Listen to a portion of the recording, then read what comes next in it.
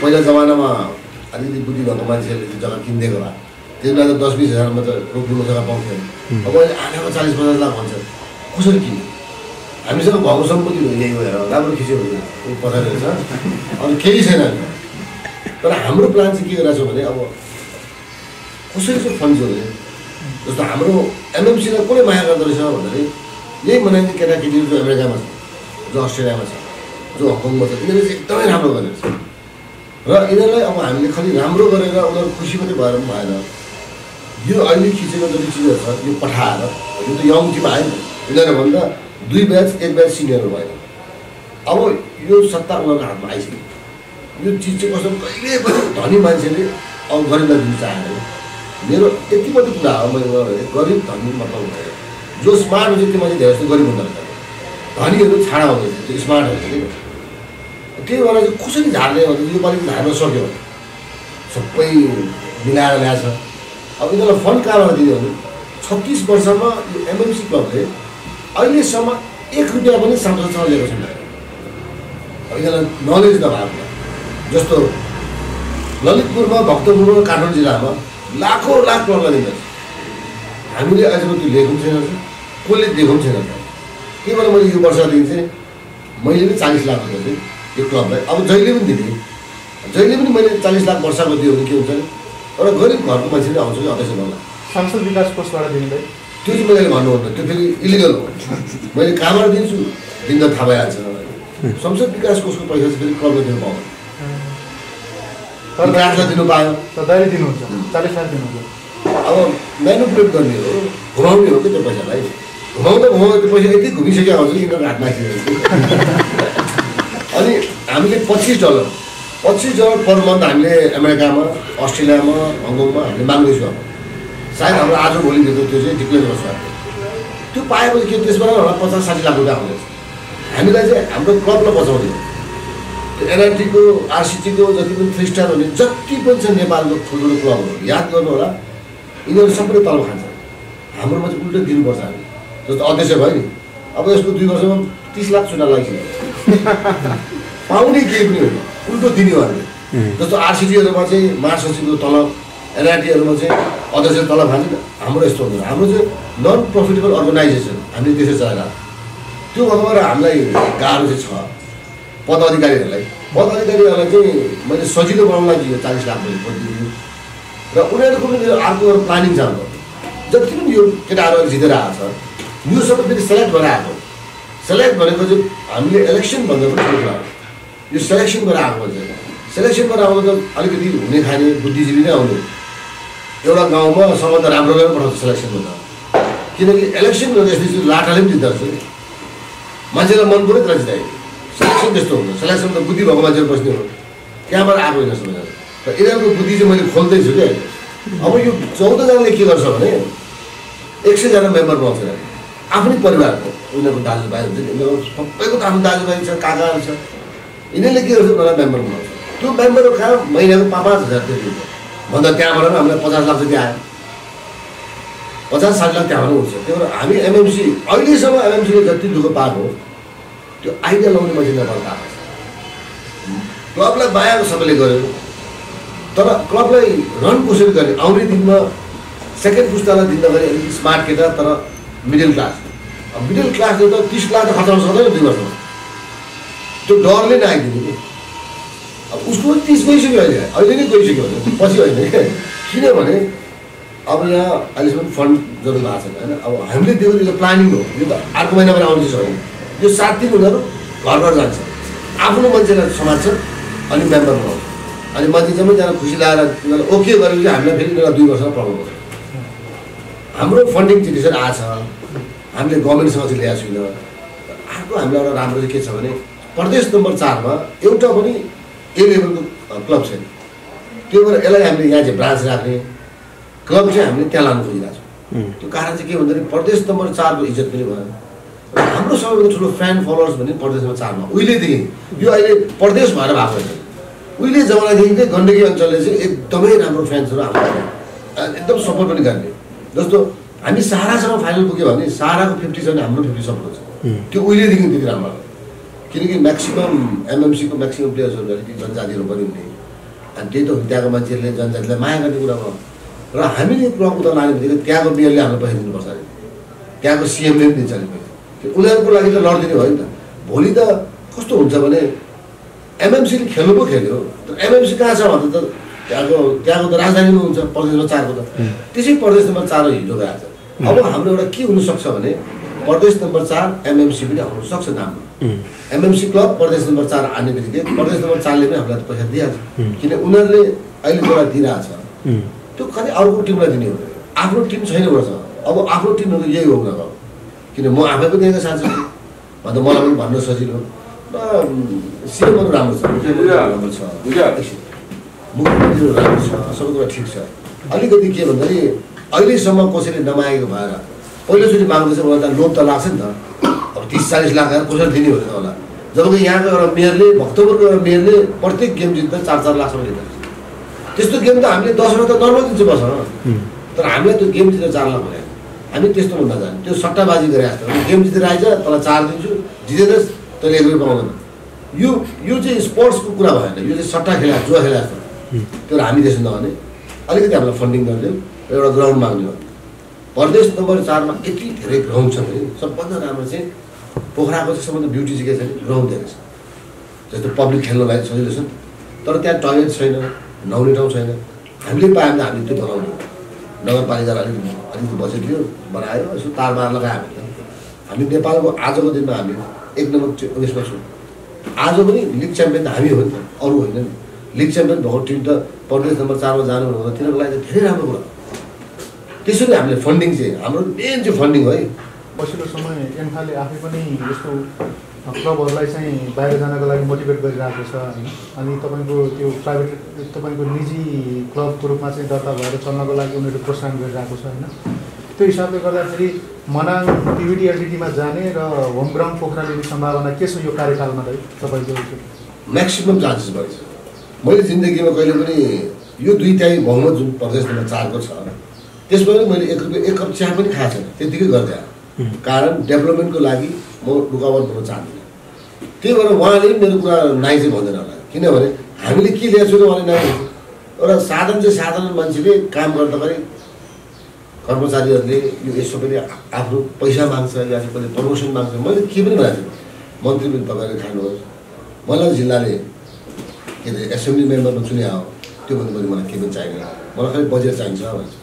मलाई त हाम्रो तिस वर्षमा हाम्रो मनाङ हेर्नु तिस वर्ष शासनमा छोरी शासन चलायो। त्यो मान्छेले कामै नगरेको भएर चाहिँ हाम्रो सजिलो भएको हुँदैन। जस्तो त्यो पहिलाको मान्छेले भयङ्कर काम गर्दैको भए चाहिँ मलाई गाह्रो हुने हो उनीहरूले केही नगरेर चाहिँ मैले अलिकति गर्दा पनि धेरै देखेको बुझ्यो भनेको चाहिँ के हुँदो रहेछ भने हाम्रो ओपिनियनले चाहिँ केही नगरेको मलाई सजिलो भएको। अरू केही पनि छैन। र जुन चाहिँ यो ग्राउन्डहरू कुरा छ यो त अभियसली उनीहरूले दिनै पर्छ। यत्रो ठुलो क्लब म लाँदैछु कि यो क्लब मैले बोकेर लाने त होइन। यही अहिले देखिन् जुन मान्छेहरू। यस्तै मान्छेलाई कन्भिन्स गरेर लानुपर्छ यिनीहरूले फेरि अर्को एउटा क्वेसन राख्छ होला। उहिलेदेखि काठमाडौँ भयो किन लाने भन्ने चाहिँ। त्यो त न्यु त खोज्छ त्यसमा फेरि हामीले उत्तर दिनुपर्ने हुन्छ। अब अहिले उनीहरू प्रदेश नम्बर चारको भन्नु तयार पनि छैन बजार किनभने उनीहरू त प्रदेश नम्बर तिनमा बसेको पचास वर्ष भइसक्यो। थलो पो प्रदेश नम्बर चारमा पऱ्यो। विदेश आफ्नो परिवार जम्मै यहाँ छ उनीहरूलाई। उनीहरू त्यसमा पनि हामीलाई प्रब्लम गर्ला। त्यसमा हामीले बुझाउने हो। यो प्रदेश नम्बर चार भन्दामा हामीले प्रदेश नम्बर चारलाई बेचेको होइन। हाम्रो डिस्ट्रिक्ट जो छ त्यो स्टेटमा परेर पो हामी त्यहाँ गएपछि हामीलाई फेसिलिटिजहरू पाउँछ। ल ठिक छ प्रदेश नम्बर तिनमै बस्ने हो भने ग्राउन्डमा जस्तो गभर्मेन्टले ग्राउन्ड दियो सबै कुरा दिने हो भने किन जानु पर्छ हामी? अब यत्रो ठुलो प्रपर्टी अघि यिनीहरूले बोल्दै जाँदा एउटा मिस्टेक के गर्यो भने समाजले समाज भनेको चाहिँ यो त्यो क्लबलाई चाहिँ हामीले एउटा के अरे यो दिएको छु। समाज भनेको यही हो। यिनीहरूले बुझेकै छैन। उनीहरू मात्रै समाज होइन। समाज यही चौधजना आएको समाज त हो। यिनीहरूलाई मैले चाइनाबाट ल्याएको त होइन नि थोरै इन्डियाबाट इम्पोर्ट गरेर ल्याएको त। बोल्नु बेकुब छैन। बोल्नै जान्दैन समाजले एउटा कोठा दिएर भाडा नलिएर। त्यस्तो पनि शब्द बोल्ने। यो जति पनि प्रपर्टी छ नि यो यिनीहरूकै बाउहरूले दिएको चन्दामा बने नेपाल सरकारले दिएको पैसा होइन। न श्री पाँचले दिएको थियो दिन, न नेपालले। अब यिनीहरूले बुझ यो बोल्दै जाँदा रिस उठ्दै जाने कारण थियो कि हामीले फ्रीमा यो दिएको छु त्यो के भने? हाम्रै बुबु बाजेको पैसाबाट बनाउने यिनीहरूले यिनीहरूले पो हामीलाई हामीले पो दिएको थियो त उयो जानु त। कहिले पनि न अब यसको स्थापना चाहिँ जमानामा यत्रो ठुलो प्रब्लम अहिले त हामीले के किन्न सक्ला? जमानामा जसले गरिदियो त्यो चाहिँ पेमा छिरिङ गुरुङ भनेको चाहिँ हाम्रो मनाङको सबैभन्दा टप लिडर हो पहिला जमानामा। यहाँ स्ट्याचु पनि छ। बुझ्दैछ नि? उहाँले गाडिदिएको छ। त्यो जमानामा उहाँले जग्गा नलिएको भए चाहिँ अहिले हामी त किन्छु भन्नु पनि सक्दैन। साठी सत्तरी लाख आना पछि कसरी किन्ने? तर यस्तो मान्छेहरूले दुःख चाहिँ गरे।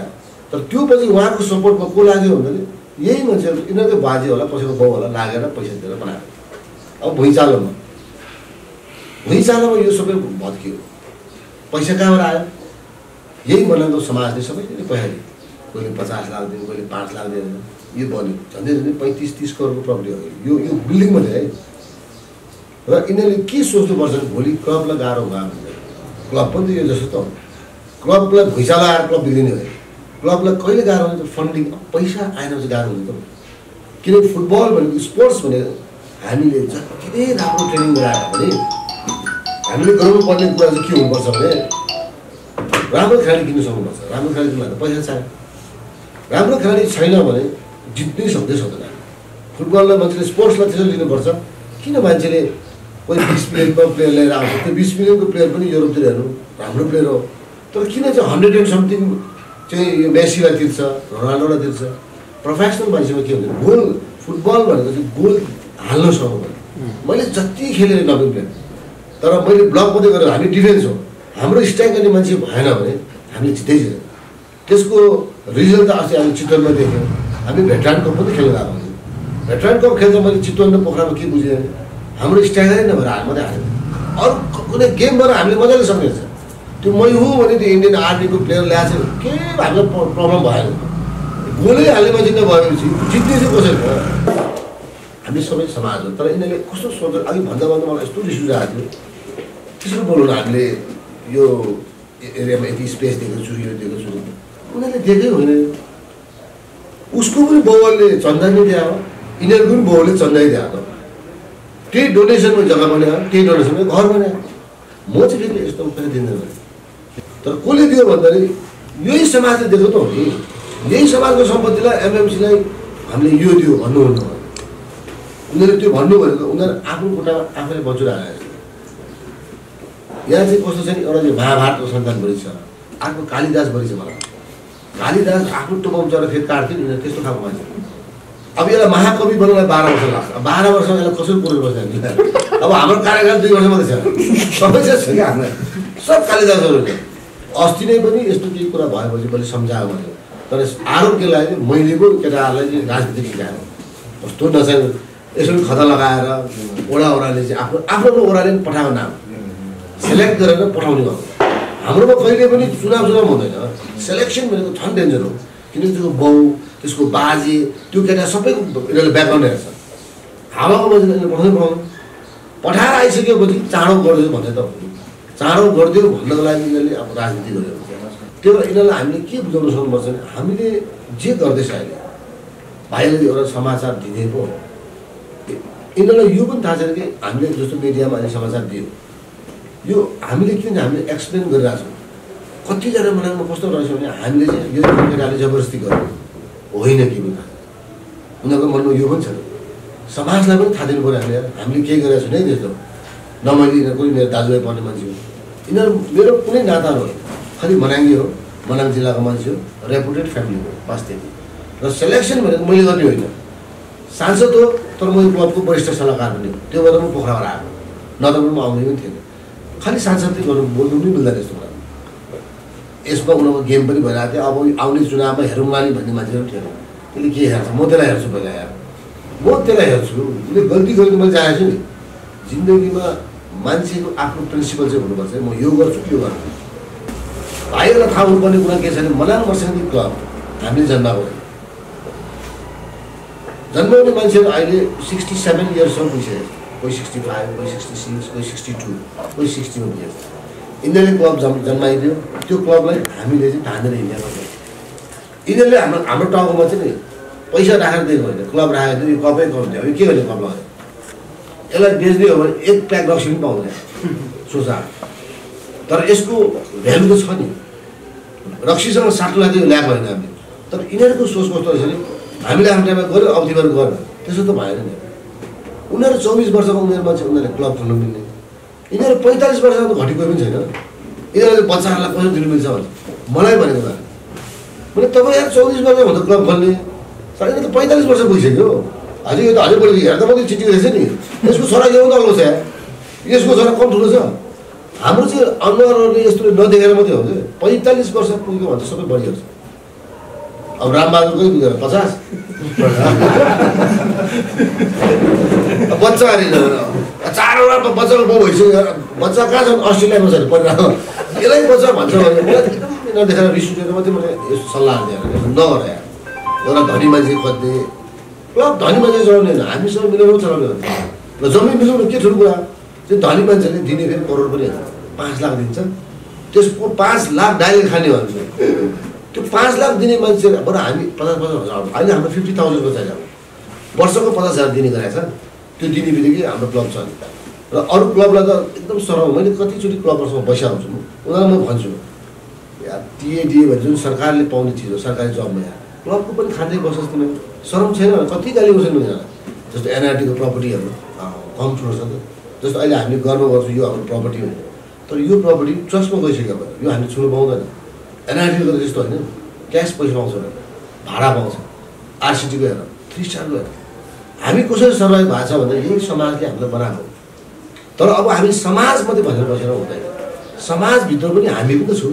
त हामीले हाम्रो परिवारबाट पहिला हामी बलियो हुनु पऱ्यो मैले यसलाई सिकाएको यो अरूलाई पनि दिएको छ तिमीले हामीलाई पनि दिनुपर्छ भने दिँदैन।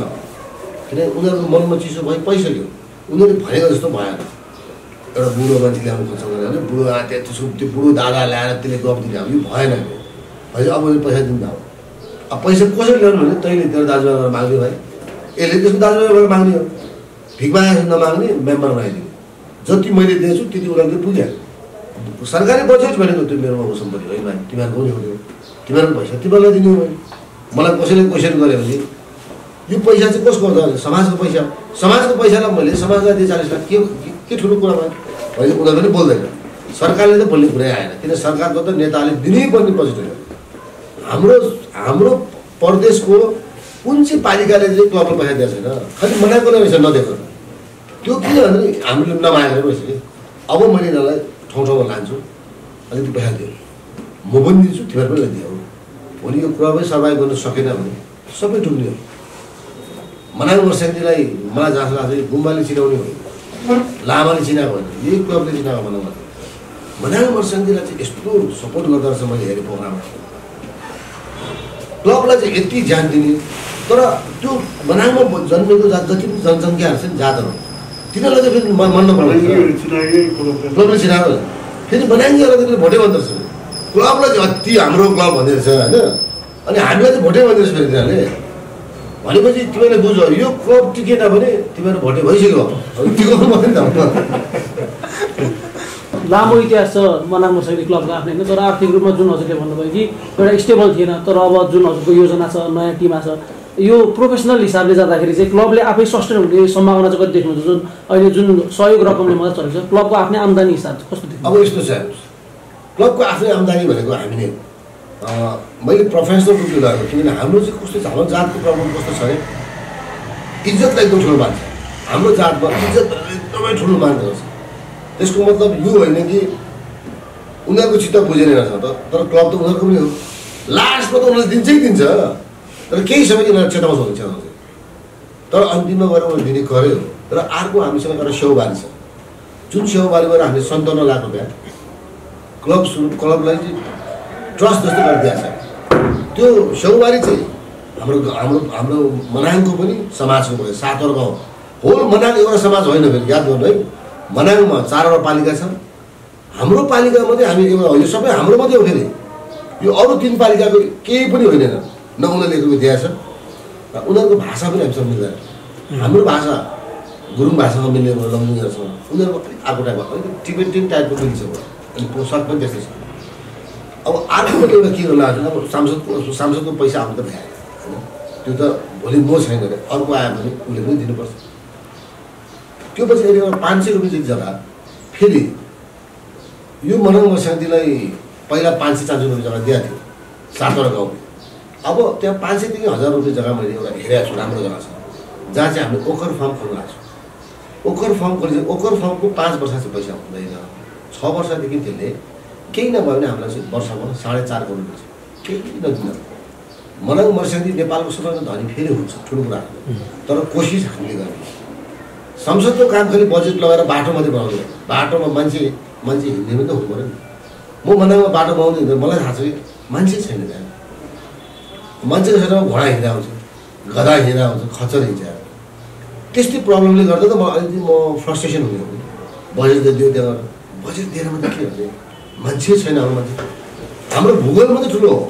जोग्राफिकली हामी एकदम ठुलोमा छौँ।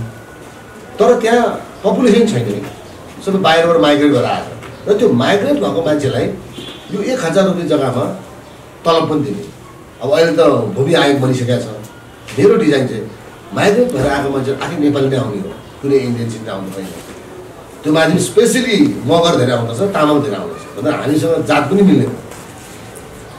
यिनीहरू सुकुम्बासी आयोग जस्तो गरेर अब अहिले जुन भूमि आयोग बनाएको छ त्यसबाट अलिकति जग्गा मिलाइदिने। र त्यो हजार रुपियाँ जग्गामा चाहिँ ओखर फार्ममा यही मान्छेहरू मजदुरी काम गर्ने। भन्दाखेरि उनीहरूले पनि महिनाको पन्ध्र बिस हजार कमाइ भयो। त्यहाँ मनाङमा खर्च गर्ने ठाउँ छैन। पैसा सबै त्यहाँ मोज गर्ने के पनि छैन। त्यहाँ पूजापाठ हो। मनाङ चाहिँ म्याक्सिमम् गुम्बा भएको ठाउँ र लामाहरू धेरै पूजापाठमा बस्छ त्यहाँ पपुलेसन त्यस्तै खालको छ। अनि त्यो हजार रुपियाँको यता हामीलाई क्लबलाई चार पाँच करोड आउँछ महिनामा वर्षमा। यतापट्टि हामीले फेरि यो गरिब पाँच सयजना मान्छेलाई हामीले काममा राख्ने पाँच सयजनाको बच्चालाई स्कुल पनि हामीले फ्री गरिदिन्छु। त्यहाँ र त्यसको लागि मनाङमा अहिले गाउँमा मनाङमा त तपाईँको गाउँमा त्यो प्रब्लम छ। टिचर राम्रो नभए। त्यो टिचर चाहिँ मैले चाहिँ करारमा ल्याउने प्लान गरेको छु।